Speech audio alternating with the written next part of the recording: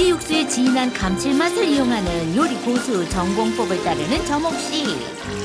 아귀탕이 육수와 함께 한번 끓는 사이 강원도에서 안 먹고 가면 서운하다는 한 가지를 더 하는데요. 바로 감자입니다.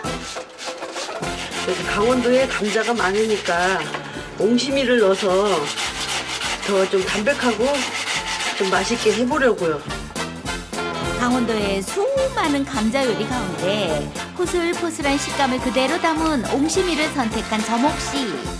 맛보는 사람마다 반한다는 강력한 무기 감자 옹심이를 아귀탕에 붕덩붕덩 빠뜨려 한 소끔 끓여주기만 하면 든든한 한 끼로 안성맞춤 구수한 강원도의 맛이 총출동한 묵은지 아귀 매운탕입니다. 이거 같이 사용해도 돼요? 네, 아, 그 아기탕 할 때. 네, 그렇게 하면 될 것 같아요. 나는 조금만 쓰면 돼요. 능숙하게 육수를 빌려가며 요리를 시작하는 토모에 씨. 일본에서도 별미로 뽑히는 맑은 아기탕이지만 그 조리법은 한국에 와서야 배웠답니다. 많이 거? 알려주세요. 뭐지 행사할 때 같이 음식을 준비해요 회관에서. 음. 그래서 그때 같이 하면서 여러 가지 지금까지 배웠죠. 어, 돈테크, 돈테크도 하고 그리고 그 가, 갈매기? 갈매기? 예? 가, 아, 갈매기도 갈매기.